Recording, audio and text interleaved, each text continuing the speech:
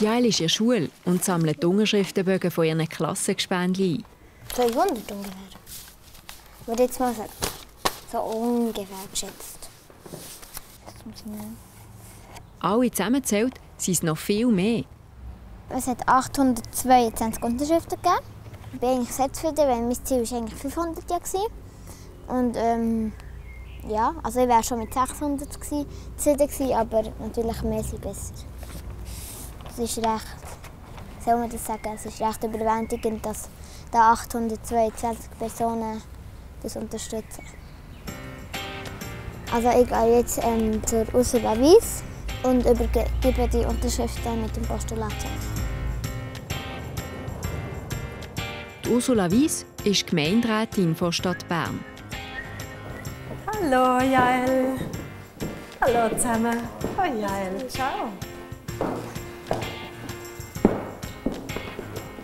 Kannst du doch eine Petition abgeben? Ja, es sind 822 Unterschriften. Mhm. Habe ich hier noch draufgeschrieben. Und hier ist ähm, mein, mein, mein Postulat. Okay, super. Das nehme ich sehr gerne entgegen. Und ich gebe es nachher dann weiter in den Gemeinderat. Gell, das geht bei uns in den Gemeinderat. Und nachher dann bekommst du Das ein, eine Antwort schreiben. Und vor allem, weil ich selber auch weiss, dass so politisches Engagement und Unterschriften sammeln und kämpfen, also, dass das viel Kraft braucht, habe ich gedacht, ich gebe dir einfach mal ein paar Schoki-Mandelbärli für einfach so ein bisschen Stärkung, Zwischenstärkung. Mhm. Ich finde es super, dass du das machst. Ich danke dir ganz fest. Danke dir. Die Unterschriften sind jetzt also bei der Gemeinderätin. Ja, ich glaube schon, dass das jetzt etwas bringt. Ähm, wenn man Schritt für Schritt vorarbeitet, kommt man vielleicht bis am Schluss zum Ganzen. Jetzt muss sie auf die Antwort vom Gemeinderat warten. Langweilig wird sie in dieser Zeit nicht. Sie hat nämlich noch ihre erste Karateprüfung vor sich. Delirim hat heute einen besonderen Einsatz. Es geht um diese Tonne hier. Aus der wird er nämlich eine Feuertonne mit einem Grillrost machen. Soll ich loslassen? Lass los, ja? Und die muss er schweissen. Wolltest du mal anrufen? Mhm. Weißt du, was sagen? Hallo, das ist der Lehrer von der offenen Jugendarbeit Zürich. Wir, also wir wollen so in einer halben Stunde wenn wir schweissen. Und hättet ihr Zeit, um uns zu helfen, weil wir haben nicht so Ahnung. Okay, danke. Tschüss. Also, Dani. Sie haben nicht so viel los und sie haben genug Zeit für Super. uns. Können wir gerade vorbeigehen? Ja. Gut gemacht. Delirim ist sozusagen der Feuertonnenchef im Planet 5. Einmal in der Woche gibt es einen Feuertonnenabend, den Delirim organisiert. Die Kinder vom Quartier können sich bei den Feuertonnen treffen und zusammen Zeit verbringen. Und vier Tonnen schweißen, weil unsere kaputt gegangen ist. Weil die alte Feuertonne kaputt ist, muss jetzt unbedingt eine neue her. Es ist ein heißer Sommertag. Die Kollegen vom Lirim gehen baden. Wir wollen den vier Tonnen aus dem machen. Der Lirim würde ja eigentlich auch gerne, aber er setzt sich jetzt für die Feuertonne ein. Ja, vier Tonnen ist einfach, dass wir Spass haben, dass wir grillieren können. Man muss halt einen Tag opfern für das. Dafür kann er hier in der Werkstatt etwas machen, das für ihn ganz neu ist. Metall bearbeiten. Mal etwas Neues ausprobieren. Ja. Hier sind die Schweißmasken. Jetzt kommt der spannendste Teil. Oh, Was siehst es ist auch alles grün. du? Aber du siehst mich, oder? Ja. Siehst mich? Jetzt nimm das Ding mal in die Hand. Mach die Klappe runter. Ja. Oh. Achtung. Halt, halt, halt, halt. Stopp. Wenn du fertig geschweißt hast, musst du halt weggehen. Dann bleibst du auch nicht hängen. Ja.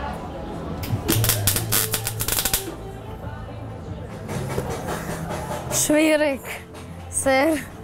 Man sieht nicht so gut, weil es Weil immer, wenn das grüne Licht kommt, dann ist alles schwarz. Und da ist es mega schwierig zu machen.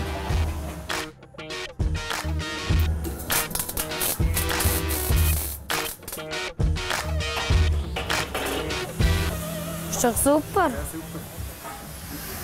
Sie hebt viel besser als die letzte. Ob das wirklich so ist, sieht Lirim noch am gleichen Abend.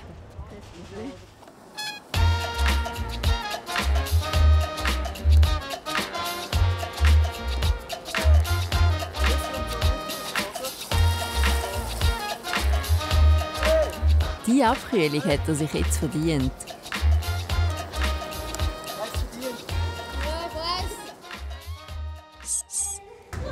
Zurück zu der Jael. Nein, nein. Heute ist meine erste Karateprüfung und ähm, da geht es um ein Halbgelb. Mir geht es eigentlich recht gut. Ich bin einfach ein bisschen, ähm, ein bisschen aufgeregt. Das ist meine erste Prüfung. Ähm, also es ist immer noch die Frage, ob ich schaffe oder nicht. Und äh, ich hoffe jetzt wirklich auch, dass ihr könnt umsetzen an der Prüfung, was ihr euch vorgenommen habt. Osha, hinare sanchindac, chora no kero kamai. Eins, zwei, drei, oh, eins, eins, zwei, drei, Chora no kero kamai. Bei so einer Prüfung muss jede Bewegung sitzen. Die Jael muss an viele Sachen gleichzeitig denken. Ob man die richtige Stellung schafft und ob man den Fuß richtig hin tut, ob man wirklich schräg tut oder ob man licht und dass man den Hinterhand zurückzieht. Und dass man man so macht, dass man nicht irgend- irgendeinen Gugus macht, dass es gerade ist.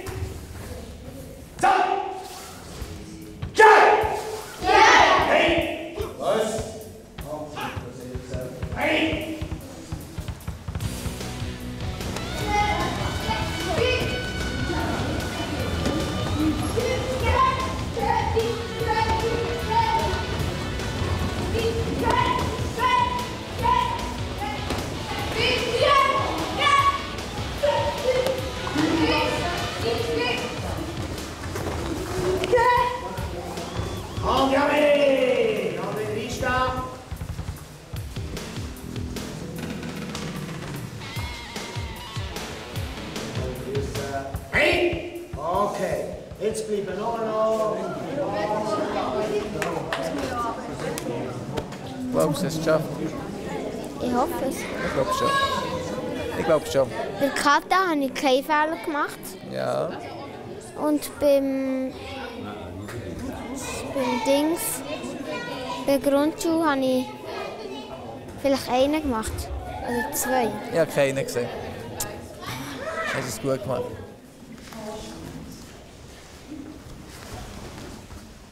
Es hat in den Abläufen hat ein paar Fehler drin gehabt, markante Fehler, wo man dann nicht hinterher halt mir nicht können sagen es ist jetzt top gewesen. Sondern es hat zwei, drei Sachen gehabt, die sind einfach in die Hose.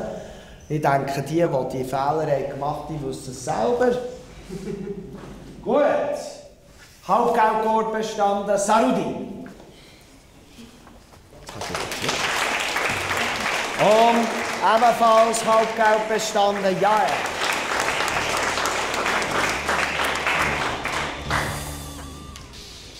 Und nachher haben wir einen Halborange. Also, Die erste Karateprüfung hat sie bestanden. Aber die Jael weiss immer noch nicht, was mit ihrem Wäldli passiert. Kannst du aufhängen? Ja. Und dann mache ich dann eine Sammlung. Das nach dem anderen. Ich habe mich umziehen. Ist gut. Der Lirim ist immer noch mit den Feuertonnen beschäftigt. Diesmal hilft ihm der Luis.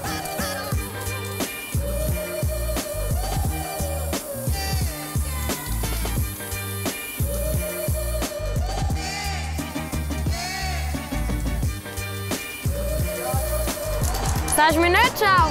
Wir sehen uns nachher. Also, Lirin, bis später. Bis später. Den Rest macht der Lirim allein. Das Wichtigste fehlt nämlich noch.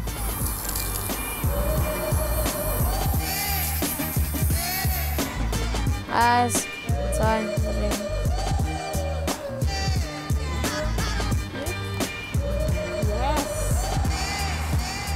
Gut. Ja. Ist cool geworden. Schön. Mit dieser Nigu-Nagu neuen Feuertonne geht der Lirim jetzt auf den Röntgenplatz. Ich muss auch jeden Freitag pünktlich dort sein, um halb sieben. Ich muss einfach schauen, dass Leute nicht so Plastik, Müll und so in die Feuertonne schmeißen. Und dass einfach Material zusammen ist, dass wir alles dabei haben zum Grillieren. Und ja, dass nichts verloren geht, die Kiste oder so, ja. Das ist eigentlich so mein Job. Jetzt ist die Frage, ob an diesem Abend ein paar Kinder zu den neuen Feuertonnen kommen.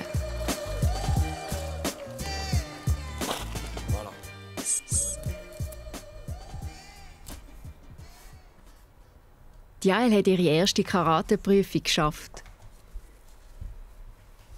Heute kommt jetzt endlich aus, was mit dem Wäldli passiert. Unterdessen hat sie einen Brief vom Gemeinderat bekommen. Was drin steht, macht sie nicht so glücklich. Also da steht, dass sie wollen, ähm, den Hügel drei Meter verschieben Wir haben eigentlich vorgeschlagen, dass wir das Tramgleis anders legen. Aber es hat seine guten Gründe, dass man das nicht kann, sondern das macht man auch, damit man die Straße verbreitern kann. Der Wald wird abgeholzt und weiter vorne neu angepflanzt. Das heisst, das Wäldli wird nicht mehr das gleiche sein. Wir werden also nicht so hohe Bäume sehen und man kann es auch nicht mehr so gut verstecken wahrscheinlich. Aber ähm, es ist, man kann ein bisschen weniger lang schütteln. Ähm, weil Bäume mehr Platz brauchen, also weil sie ja vorgeschoben werden, so gesagt. Ähm, ja. Es wäre natürlich schon schön, ihn so zu behalten, wie er jetzt ist. Aber es gibt ja noch eine Hoffnung. Heute ist der Tag, wo alles entschieden wird. Also heute ist der 28. September und zwar die Abstimmung vom Tram. Jetzt wird entschieden, ob das Tram kommt oder nicht. Ja. Bist du ein bisschen nervös, gell? Müssen wir nicht noch abstimmen? Nein, wir haben es schon lange gemacht. Ja, man weiß ja nie bei euch. Mama, Vielleicht weißt sind wir noch lange. Weißt du, um 12 Uhr war es fertig.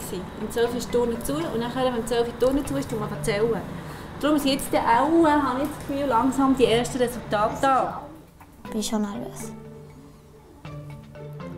Uh, hallo. Sophie kommt sich unterstützen. Die Resultate der Abstimmung werden jetzt gerade verkündet. Papa, hast du es? dann ist das ein Ziel eigentlich für das Wochenende. Ich Im Fernsehen reden sie noch über etwas anderes. Das macht alle noch nervöser. Also mir regt das Zeug auf. Wir sind zuerst das sehen, was uns nicht interessiert. Und ich komme, ich komme einfach nicht raus, was sie da... Aber eigentlich, ich bin schon ein bisschen nervös, weil es, weil es ist ja schon recht viel Arbeit dahinter. Und ja. Wenn die Erwachsenen sich heute für die neuen Tramlinien entscheiden, hat Jael vergeben gekämpft. Sie ist sich selber gar nicht sicher, was die Leute heute abstimmen. Nicht, dass ich jetzt äh, denke, ich gebe auf und so, aber ähm, es, ist, es ist fast klar, dass es kommt. Aber ähm, trotzdem hoffe ich natürlich immer noch, bin ich immer noch in Hoffnung. Und es ist ja so, dass die Hoffnung zuletzt stirbt und so. In den nächsten Minuten kommt es aus.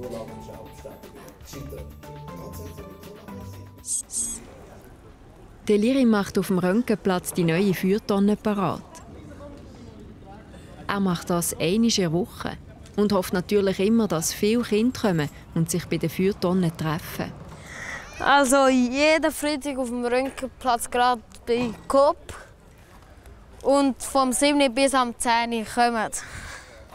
Solange er noch keinen Jugendraum gefunden hat, ist die Feuertonne auf dem Röntgenplatz der Treffpunkt.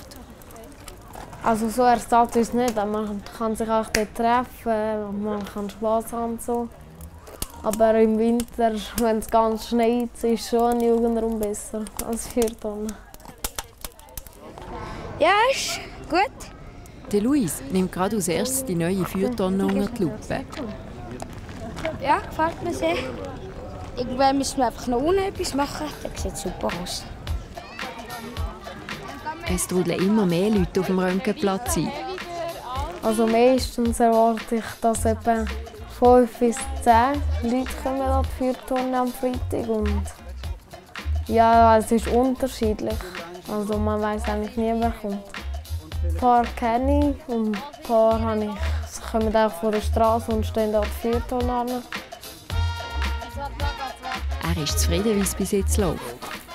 Nein, gut, ähm, fünf Leute. So wie ich gedacht habe, ist gut. Wake up where the clouds are far.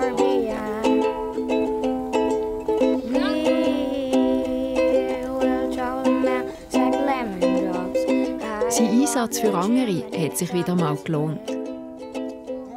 Die neue Feuertonne bewährt sich. Ja, es war cool. Es sind viele Leute gekommen, sieht man da. Und wir haben Spass und jetzt spielen wir Versteckis. Mit etwa sieben Leuten. Es ist einfach lässig für alle da. Es macht Spaß.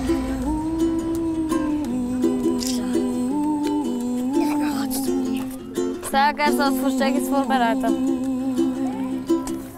Es ist ein schöner Abend.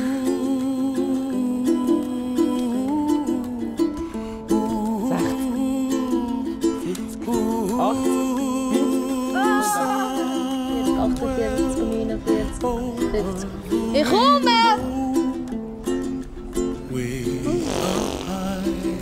Kannst du mir einen Tipp geben?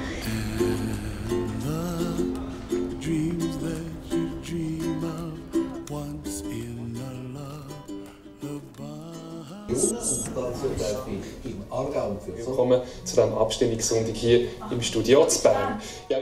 Ob sich auch der Einsatz von der Jael gelohnt hat, das erfahrt sie jetzt. ist der Lukas Link. Er wird für Telebern jetzt das Abstimmungsergebnis bekannt geben. Soweit die nationalen Wahlresultate von Markus Gili und auch bei uns in Bern gibt es ein deutliches Nein. Es ist gegen das Tram abgestimmt worden und so, dass das Tram nicht gebaut werden. Und ähm, der Wald darf erhalten bleiben. Prost! Also, sie sind immer noch ein bisschen. Und dann ruft Anni auch.